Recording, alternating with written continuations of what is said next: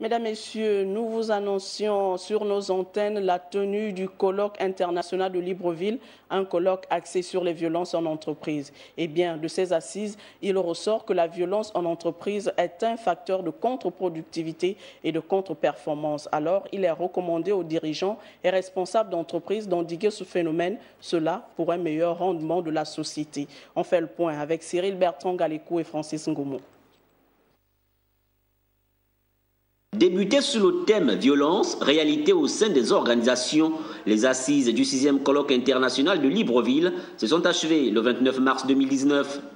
Regroupant la crème des professeurs et enseignants-chercheurs venus des horizons divers, les ateliers scientifiques proposés à ces éminences grises leur ont permis d'assimiler les différentes approches liées à la violence sous ses différentes formes.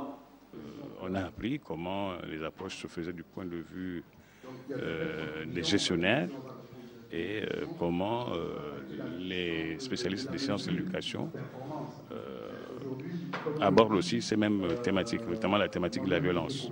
Donc c'est une réalité qui touche effectivement tous les pays de la sous-région. En ayant des regards croisés sur le développement en Afrique, les scientifiques témoignent qu'un bon management dans le travail permet un bien-être, facteur de productivité et de perfectionnement.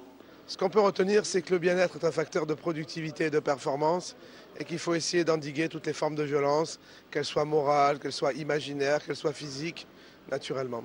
Et que dire de la motivation? Ce qui est motivant, c'est euh, de travailler sur le contenu du travail pour le rendre plus attractif, euh, la transformation des méthodes de management pour des méthodes de management plus ouvertes, plus bienveillantes, fondées sur la formation, sur l'autonomie des personnes, sur la responsabilisation aussi. Entre autres sujets évoqués au cours du CIL qui s'achève, la géopolitique ethnique et performance des agents publics au Gabon et bien entendu la plarcadisation comme source de déstructuration de la personnalité du travailleur.